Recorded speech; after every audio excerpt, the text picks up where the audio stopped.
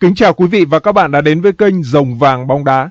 Kính thưa quý vị, Campuchia là đội đầu tiên kiểm chứng sức mạnh của đội tuyển Indonesia, đội bóng ồn ào nhất bảng B tại AFF Cup và sở hữu huấn luyện viên Shin Tae-yong lừng danh, người từng giúp cho đội tuyển Hàn Quốc quật ngã được đương kim vô địch World Cup là đội tuyển Đức.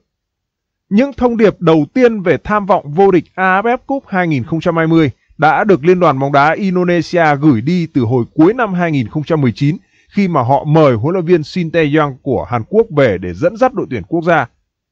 Trao toàn bộ quyền lực ở đội tuyển cho huấn luyện viên Shin Tae-yong, Liên đoàn bóng đá Indonesia cũng giao chỉ tiêu là phải vô địch AFF Cup. Thông điệp ấy đã được thể hiện rõ nét hơn tại loạt trận cuối cùng vòng loại thứ hai World Cup 2022 diễn ra ở tại UAE hồi tháng 6 vừa qua.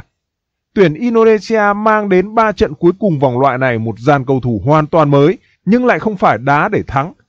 Evan Dimas và đồng đội đá để tích lũy kinh nghiệm cho sân chơi khu vực. Lứa cầu thủ ấy đã phần nào thể hiện sự tiến bộ khi mà họ cầm hòa được đội tuyển Thái Lan. Sau hơn 2 năm chuẩn bị và trải qua rất nhiều mâu thuẫn với huấn luyện viên Shin Tae-yong, đã đến lúc người Indonesia kiểm chứng chất lượng công trình của kiến trúc sư người Hàn Quốc. AFF Cup 2020 chính là giải đấu khu vực đầu tiên của ông Shin Tae-yong cùng với đội bóng xứ Vạn Đảo. Ông Shin Tae-yang cũng là ngôi sao lớn nhất của Indonesia tại AFF Cup năm nay. Những người yêu bóng đá chưa thể quên chiến thắng 2-0 đầy ấn tượng của đội tuyển Hàn Quốc trước đội tuyển Đức. Đội bóng khi ấy là đương kim vô địch thế giới ở World Cup 2018. Người dẫn dắt đội tuyển Hàn Quốc khi đó là huấn luyện viên Shin Tae-yang. Trước đó khi còn ở K-League 1 thì ông Shin Tae-yang từng giúp cho câu lạc bộ Seoul Nam vô địch AFC Champions League 2010. Năng lực của ông cũng đã phần nào thể hiện qua việc Indonesia trẻ trung cầm hòa được Thái Lan ở vòng loại World Cup hồi tháng 6 vừa qua. Tới AFF Cup lần đầu, ông Shin Tae-yong mang đến đội Indonesia mạnh nhất có thể, hội đủ cả các tài năng ở trong nước, các cầu thủ đang thi đấu ở nước ngoài và những cầu thủ mang dòng máu châu Âu. Vẫn với bộ khung từ vòng loại World Cup, Indonesia bổ sung trung vệ gốc Anh là Ekan Bagot, tiền đạo gốc Hà Lan là Walian. Các yêu cầu của huấn luyện viên Shin Tae-yong đã được Liên đoàn bóng đá Indonesia đáp ứng hết mức khi mà cho tuyển Indonesia đi Thổ Nhĩ Kỳ để tập huấn trong vòng một tháng. Garuda đã thắng tưng bừng ở loạt trận giao hữu trước các đội bóng ở địa phương và cả tuyển Myanmar. Chủ tịch Liên đoàn bóng đá Indonesia ông Mochamat Iriawan đã nói rằng đợt tập huấn kết thúc thành công, chúng tôi đã sẵn sàng mang đến những điều tốt đẹp nhất cho bóng đá nước nhà. Indonesia đã chờ đợi chức vô địch AFF Cup quá lâu rồi. Với một đội hình trẻ trung mới trải qua có vài trận chính thức, Liên đoàn bóng đá Indonesia dường như là hơi quá tự tin khi mà tuyên bố mục tiêu vô địch. Theo như truyền thông nước này, thì đây là đội tuyển Indonesia trẻ nhất lịch sử từ trước tới nay kể từ năm 1996 với độ tuổi trung bình là 23,8, trẻ hơn nhiều so với tuyển Việt Nam là 24,79 hay là Malaysia 26,8. Khác với lứa trẻ của huấn luyện viên Shin Tae-yang dàn tuyển thủ của Việt Nam và Malaysia đều tích lũy kinh nghiệm nhiều khi mà trải qua những giải đấu lớn. Hai đối thủ còn lại của Indonesia thì liệu rằng có thực sự là đội bóng yếu hay không?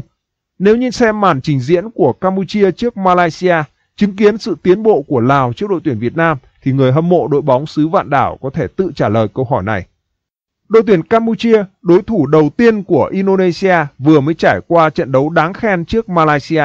Với gần 100% cầu thủ thi đấu trong nước, Campuchia chơi không hề tệ trước đương kim Á quân. Họ thậm chí là còn cầm bóng nhiều hơn cả Malaysia và chỉ thua kém ở khả năng dứt điểm.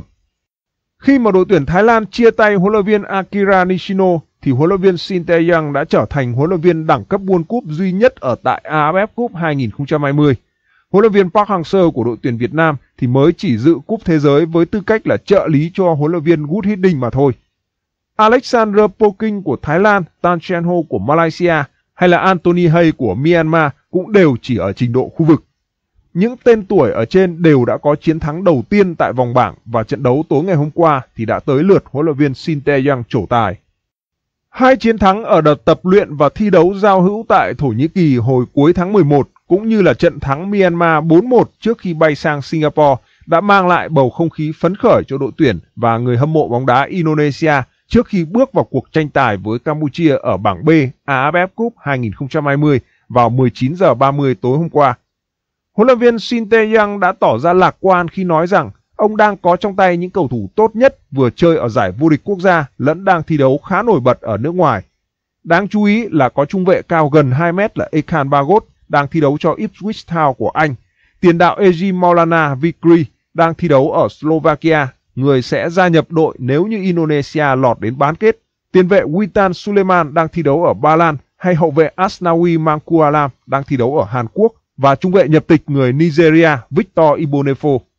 Chỉ riêng với những cái tên này thôi, nhà cầm quân người Hàn Quốc đã cho rằng Indonesia chắc chắn là sẽ mạnh hơn đội hình đã từng đá vòng loại World Cup thứ hai khu vực châu Á hồi tháng 6 ở tại UAE.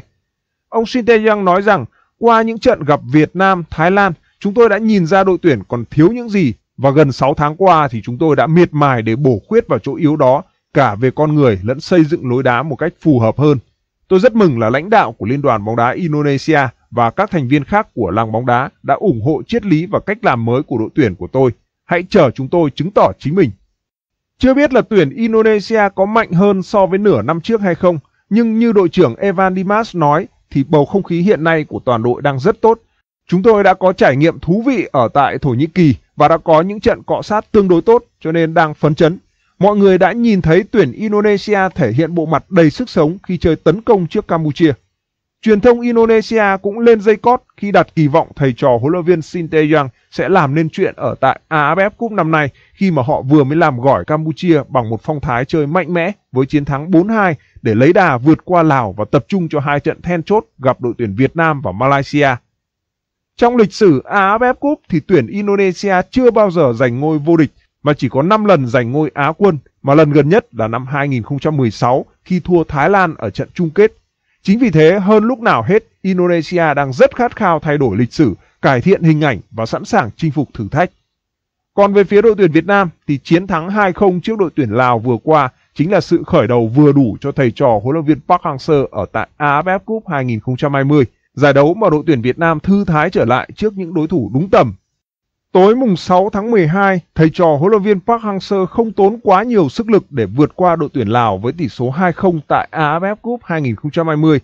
Kết quả này giúp cho đội tuyển Việt Nam chấm dứt chuỗi 7 trận liền không thắng trước đó ở vòng loại World Cup. Tạm rời xa manh áo quá khổ đó là vòng loại thứ 3 World Cup 2022. Tuyển Việt Nam ở trên sân Bisan giống như là được thửa lại bộ trang phục vừa vặn với chính mình, đã nhập cuộc một cách tự tin, đĩnh đạc trước đội tuyển Lào. Dấu hỏi lớn nhất đặt ra với thầy trò huấn luyện viên Park Hang-seo chỉ là họ sẽ vận hành lối đá tấn công như thế nào sau hơn 3 tháng miệt mài phòng thủ hết trận này qua trận khác. Thực sự là những phút đầu tiên đã diễn ra khá khó khăn cho đội tuyển Việt Nam khi mà Lào phòng ngự bằng tất cả năng lực và quân số mà họ có. Nguyễn Tiến Linh đã bị bao vây và chia cắt ở tuyến đầu. Nguồn cấp bóng từ Lương Xuân Trường, Nguyễn Hoàng Đức cũng luôn nằm trong khu vực phong tỏa.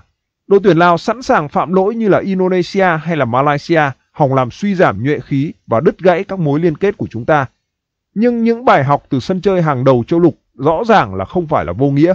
Trong tình thế tưởng như là bế tắc với những pha phối hợp ngắn và nhỏ từ trung lộ thì chúng ta đã khiến cho đội tuyển Lào hoàn toàn bất ngờ với những đường phất bóng dài của Hoàng Đức có điểm rơi và đúng đà của Nguyễn Phong Hồng Duy băng lên để căng ngang và phần còn lại dành cho Nguyễn Công Phượng trở nên dễ dàng hơn bao giờ hết. Một tình huống phá vây hoàn hảo một ý đồ thay đổi nhịp độ và cự ly tiếp cận cầu môn không thể sắc nét hơn. Đó chính là cách mà Ả Rập Xê Út hay là Nhật Bản đã trừng phạt chúng ta, nhẹ nhàng, đơn giản nhưng độ chính xác đầy thấm thía. Và giờ đây là lúc mà thầy Park mang những đòn đau ấy để áp dụng vào thế trận có nhiều điểm tương đồng này. Bàn thắng thứ hai cũng thật giống với kịch bản mà chúng ta thường thủng lưới trước những đối thủ ưa xuống biên tạt cánh. Họ treo bóng ra sau lưng các trung vệ mà Đỗ Duy Mạnh là nạn nhân không phải chỉ một lần để cho đồng đội đón lõng đánh đầu cận thành. Nhưng ở trận đấu này thì chúng ta đã thực hiện miếng đánh đó một cách thuần thục với Hồ Tấn Tài là người kiến tạo từ biên phải, còn Phan Văn Đức thì dứt điểm đập đất vào góc hẹp. Tuyển Việt Nam vốn không thường xuyên ghi được những bàn thắng kiểu như thế này, nhưng trong khoảng thời gian bầm dập ở đấu trường cận World Cup thì thầy trò huấn luyện viên Park Hang-seo cho thấy hành trang của họ đã dày hơn, cách nhìn nhận và xử lý tình huống cũng đa dạng hơn. Đấy chính là những thứ mà họ đã tích lũy được từ những thất bại. Chúng ta nhắc đến Phan Văn Đức chính là một trong những cái tên gây tranh cãi suốt 6 trận ở vòng loại thứ 3 World Cup. Thầy Park kiên nhẫn sử dụng cầu thủ tấn công xứ nghệ dù rằng phong độ của anh bị sa sút làm dấy lên những phản ứng từ người hâm mộ và thậm chí là cả giới chuyên môn. Phải đợi đến khi Phan Văn Đức bị chấn thương thì ông Park mới hạn chế dùng anh ở trong những trận cầu nóng bỏng. Nhưng ngay ở trận giao quân AFF Cup 2020, anh đã trở lại đội hình chính và bàn ấn định chiến thắng 2-0 chẳng khác gì lời khẳng định tầm nhìn của nhà cầm quân người Hàn Quốc. Ở sân chơi lớn, ông Park giao cho Phan Văn Đức nhiệm vụ quá sức của anh, vừa lo phòng ngự lại vừa làm cầu nối phản công. Anh trở thành người vô hình và chìm vào đẳng cấp của đối thủ. Nhưng ở AFF Cup ở một trình độ khác, nơi mà Đức Cọt có thể tìm lại sự tự tin và còn nhiều hy vọng hơn thế chỉ bằng một cú dứt điểm thành bàn. Lương Xuân Trường cũng đã có vị trí ở trung tâm hàng tiền vệ, nơi mà anh hầu như là thất sủng kể từ tháng 9. Không còn phải lo gánh nặng đánh chặn, cầu thủ của Hoàng Anh Gia Lai đã lấy lại hình hài đĩnh đạc, khoan thai, dù rằng đóng góp của anh không thực sự là nổi bật trong trận đấu tối ngày 6 tháng 12. Ở hàng phòng ngự, Trần Đình Trọng đã có những phút đầu tiên trở lại trong vai trò một nhà đương kim vô địch. Danh hiệu AFF Cup 2018 của đội tuyển Việt Nam có dấu ấn đặc biệt rõ nét của Trần Đình Trọng. Và ông Park cũng hy vọng là những cuộc tập dượt với đội tuyển Lào sẽ là bước làm quen lý tưởng cho chốt chặn mới bình phục chấn thương này. Và cũng không thể quên thủ môn Trần Nguyên Mạnh, thủ thành đã có những ký ức chẳng mấy dạng ngời với giải đấu AFF Cup. Nhưng ông Park hiểu tâm tư của học trò và ông trao cơ hội cho Nguyên Mạnh không khác gì cách mà ông đã giúp cho Bùi Tấn Trường ở vòng loại thứ hai World Cup xóa đi nỗi buồn ở trong quá khứ trước Malaysia. Người gác đền gốc sông Lam đã có trận đấu nhàn hạ nhưng trong tình huống duy nhất khiến cho khung thành đội tuyển Việt Nam bị đe dọa thì anh đã cứu thua. Pha đối mặt với chân sút đến từ giải League 2 của Pháp là Billy Ketkel Fonfon đã cho thấy rằng Nguyên Mạnh xứng đáng với niềm tin mà ban huấn luyện đặt vào anh, dù anh là người thiệt thòi nhất về thể hình trong nhóm thủ môn hiện có của đội tuyển. Dĩ nhiên là một trận đấu với đối thủ như là Lào thì chưa nói lên nhiều điều về năng lực thật sự của đội tuyển Việt Nam. Chúng ta cần những thử thách khó hơn như là Malaysia, Indonesia để đong đếm cơ hội bảo vệ ngôi vô địch AFF Cup. Nhưng dù sao thì như Quế Ngọc Hải chia sẻ, đã lâu lắm rồi chúng ta mới được hít thở mùi vị 3 điểm và đấy cũng là tiền đề thuận lợi để bắt đầu hành trình chinh phục khác. Quý vị và các bạn hãy để lại những bình luận của mình ở phía dưới video này. Rồng vàng bóng đá xin cảm ơn những bình luận của quý vị và các bạn. Còn bây giờ xin chào tạm biệt và hẹn gặp lại quý vị và các bạn trong những video tiếp theo.